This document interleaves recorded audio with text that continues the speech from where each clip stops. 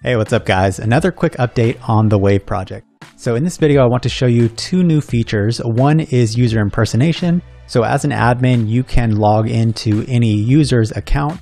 This way you can easily troubleshoot any problem that a specific user is having. The second feature is user profiles. So every user in your application will have a profile.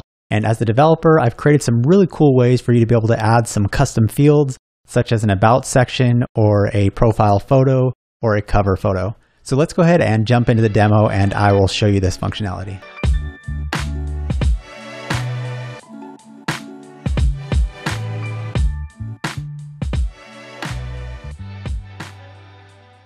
Okay, so let me start off by showing you the user impersonation feature. So if I go up here to my account and I'm logged in as Tony Lea, and since I'm an admin, I have this admin button. So then if I go to admin, I can then view the users of my app. And as I scroll down, I can see all these users. So let's say that John Doe is having an issue and he can't uh, update his profile. So we want to go into our admin and we want to impersonate this user. So now you can see that I am currently impersonating John Doe at gmail.com. And if I go up here, sure enough, we're at John Doe. So I can go to the settings and I can try and update his information and try and troubleshoot the problem that he said he was having. So then I can quickly go here to leave impersonation.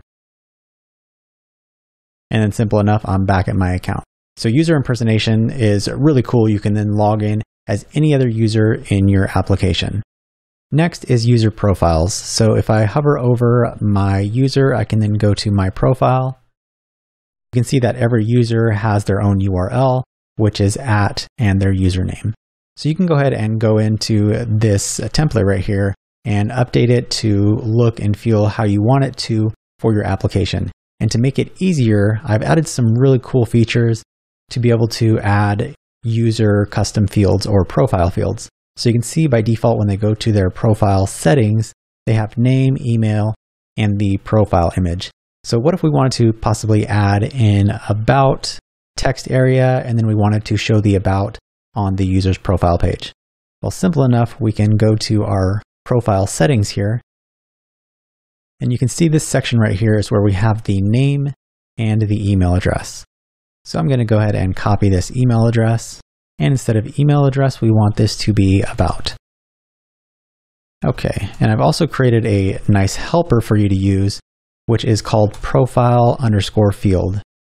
So if we call profile underscore field, we can then pass it the specific type of input that we want this to be. So in this case, it is going to be a text area.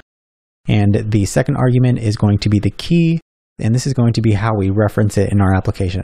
So for this case, I'm going to say that the key is about.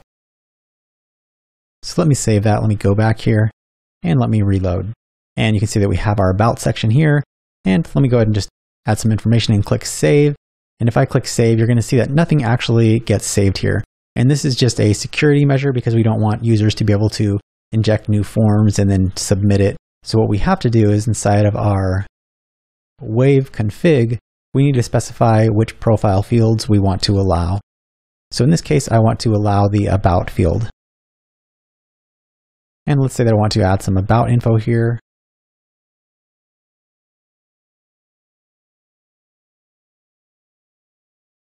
Okay, so I just updated my about, and I can go ahead and click on Save.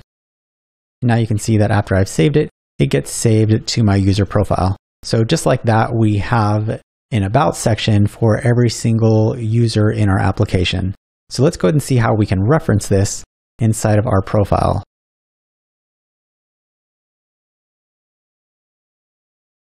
And let's say that I want to add it right here. I'm going to just create a new paragraph and give it a class of about. And then I'm just going to call the user and I'm going to say profile and the key that we used was about.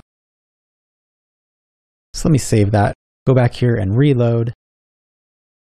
And just as simple as that, we've now added the about section to the user profile. So you can see that you can easily add your own custom fields and then you can display them here on the user profile. So let's do one more. Let's say that we want to add an image, maybe like a cover photo, and then the cover photo, we could stylize it to be somewhere here on the background. So let's go back to the settings and let's copy this. Let's call this cover image. And we know that we want this to be a input type image and we want the key to be cover image. And we also need to add this to our wave config. Let's save that. Let's go back to our settings. And now we have this image upload. Let me go ahead and choose this image and click save. And just like that, we've uploaded the new user cover image or background image. So then we could go to the user profile and we could possibly add the image right here. Let's just add this right there. We want to say image source, and I'm going to use the Voyager image helper. We'll say we want the image to be displayed, and this is going to be the user profile cover image. And let me go ahead and give it a width of 100%.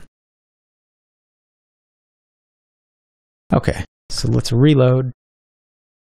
And now, simple enough, we have the user cover image displaying on their profile. So I'm really excited about this feature. It's a really easy way for you to be able to add some custom fields for your user in your application.